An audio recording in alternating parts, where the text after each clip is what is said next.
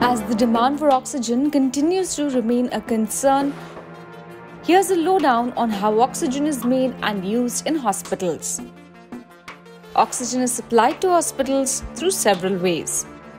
Vacuum insulated evaporator. This allows for bulk storage of oxygen for medical applications. The liquid oxygen is evaporated into concentrated O2 supply. Oxygen is drawn off as needed, passed through a vaporizer, turned into gas, and piped to individual wards.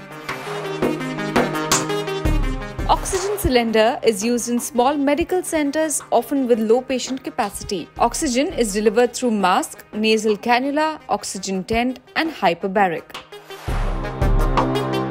Oxygen concentrators are medical devices that assist patients with low level of oxygen in their blood. Oxygen concentrator receives air, purifies it to 90 to 95% pure oxygen, and then distributes this air. Oxygen concentrator has a five step concentrator process. It takes air from room, compresses the oxygen, extracts nitrogen from air, adjusts the way air is delivered, and then delivers oxygen rich air.